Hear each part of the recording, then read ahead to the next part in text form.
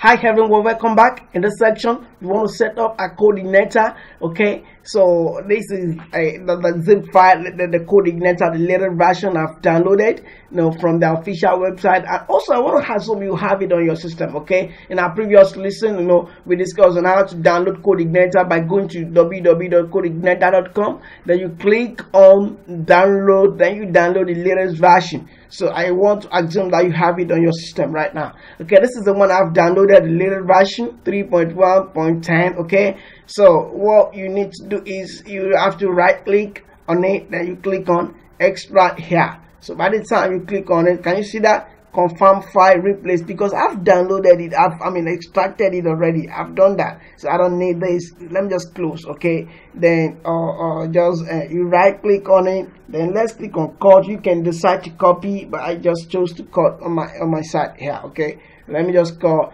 then you go to your local disk say your WAMP server or XAMPP you look it and HD you know uh, htdocs. If you are using XAMPP, okay, you, you use uh, htdocs. You look at htdocs. Yeah, that's where you are gonna paste the the, the, the, the, folder. But in my own case, I'm using WAMP server, so I will go to you know C. I'll go to WAMP server and I'll go to W directly. Then I'll right click and click on what text. Now i want to bring it to this place. Okay can you see that? It's here. Voila. So congrats i mean code igniter 3.1.10 okay i think it's not it's, it's, not okay like this okay? So we just need to let's rename it something else. I will right click i'll click on rename.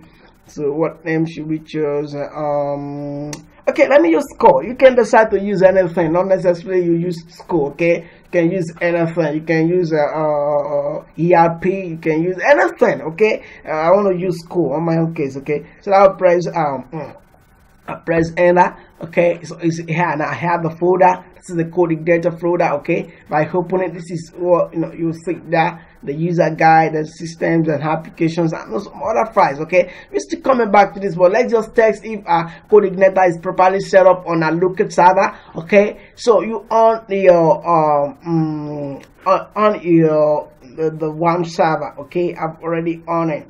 It's here. So can you see that? Shows color green. It means it's ready. So let's go to our browsers okay?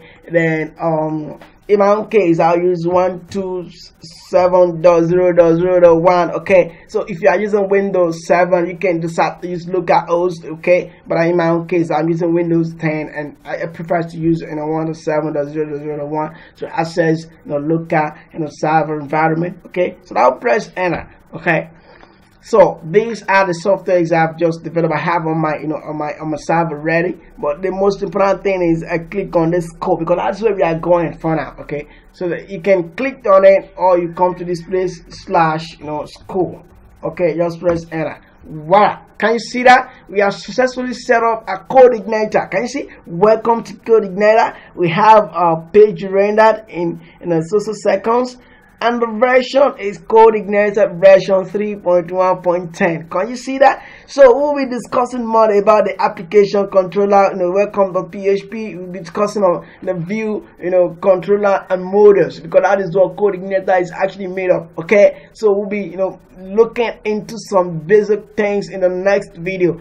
Thank you so much you know no no for taking this calls we'll see you in the next lecture. Bye for now